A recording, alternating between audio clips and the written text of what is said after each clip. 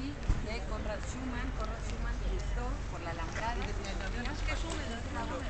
Claro, claro. Sí.